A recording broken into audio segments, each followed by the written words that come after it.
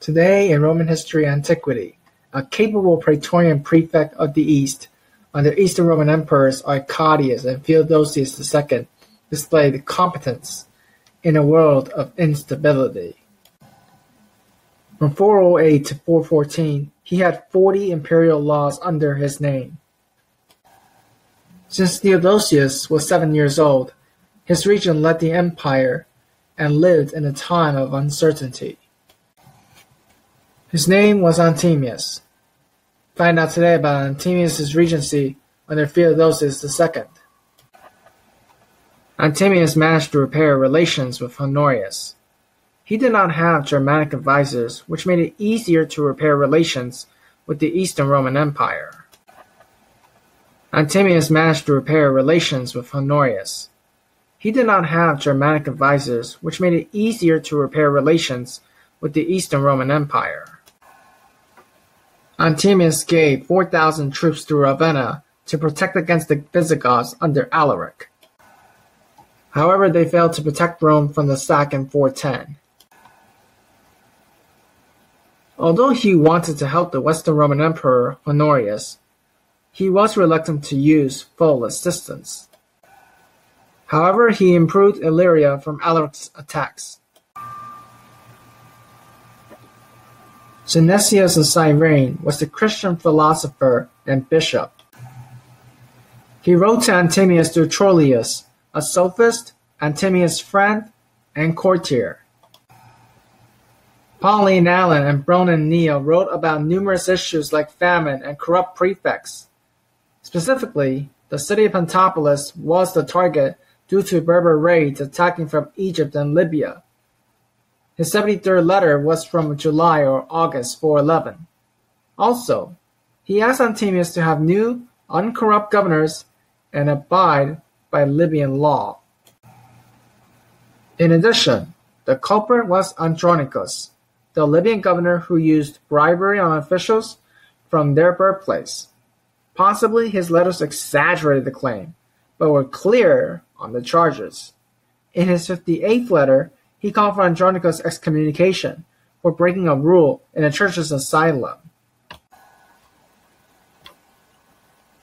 In 408, Flavius Monaxius was the city prefect, and Constantinople suffered a grain shortage. As a result, there were riots, and they incinerated his house. In the short term, the Senate decided to get grain from the other provinces. In 409, Anthemius improved their transportation system for the grain supply to get through from Alexandria to Constantinople more effectively.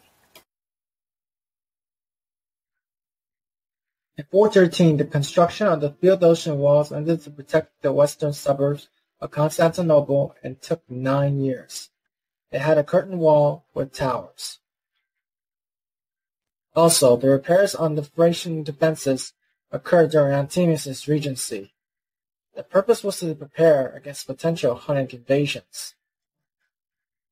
In addition, he appointed Germanic military leaders, which continued from Theodosius I and Anthemius' former superior, Arcadius.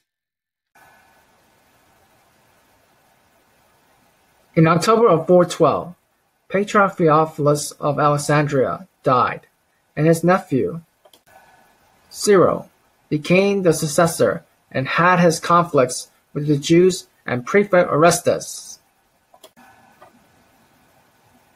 In 413, Caelestius was a Pelagian and was at Ephesus to promote Pelagianism. In 414, Pelagius and Jerome were in Palestine and had a debate.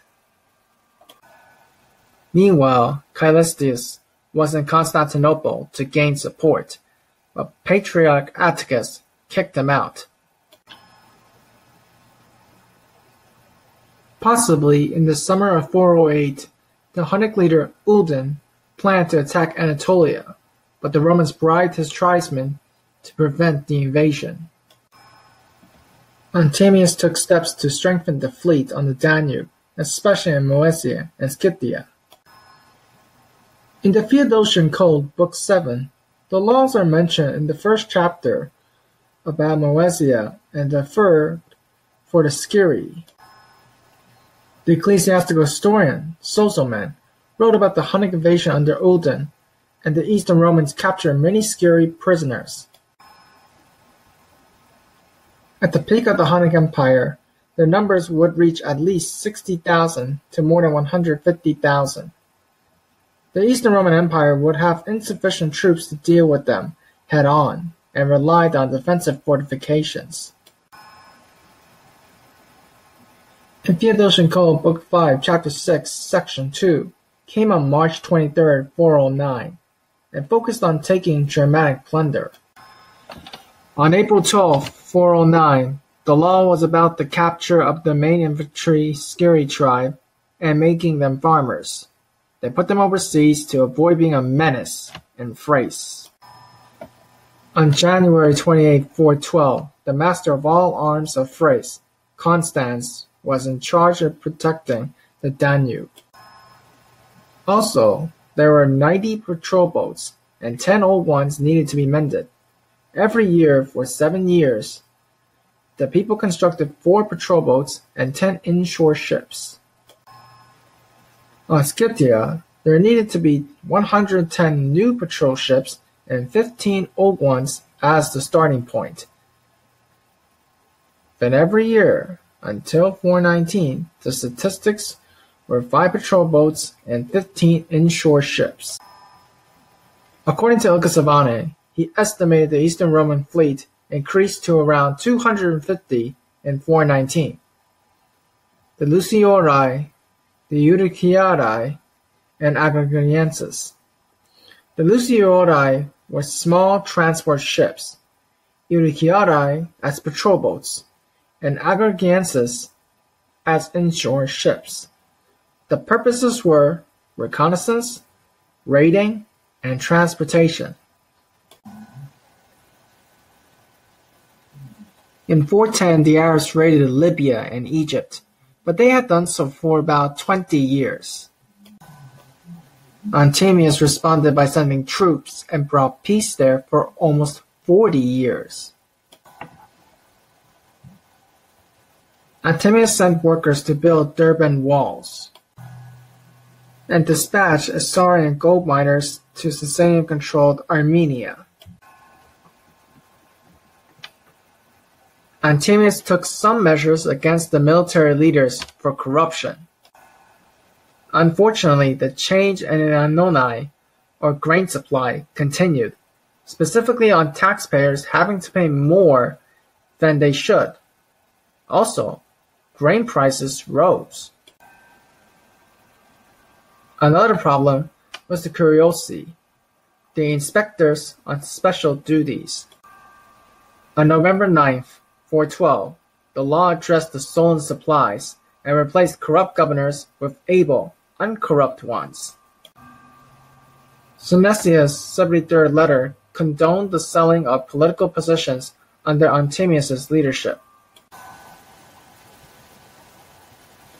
By 410, Anthemius was at the apex of his power. However, the downfall began with Theodosius' sister Pulcheria. She took a vow of virginity, and her power increased. Anthemius wanted Pulcheria to marry his son, Flavius Anthemius, but she refused as a political maneuver to achieve her goal. On April 9, 414, legislation enacted on overdue payment received cancellation in the Diocese of the East for the next forty years. On April 18th, his name was mentioned for the last time. Possibly, he might have died from natural causes. It is not what Kenneth G. Holum implied perspective of simply linking Anthemius's fall with Pulcheria's rise. In reality, Anthemius's family thrived after his last mention. His son-in-law Procopius Anthemius and his son Anthemius Isidorus served in Theodosius' reign. The grandson of Praetorian prefect Anthemius, Procopius Anthemius, became the Western Roman Emperor from 467 to 472. Socrates Scholasticus praised Anthemius' capable leadership. He proved to possess adept administrative talents. However, he could not fully address all anti-corruption issues. On the other hand, he was effective in military matters and had mixed results with the Western Roman Empire.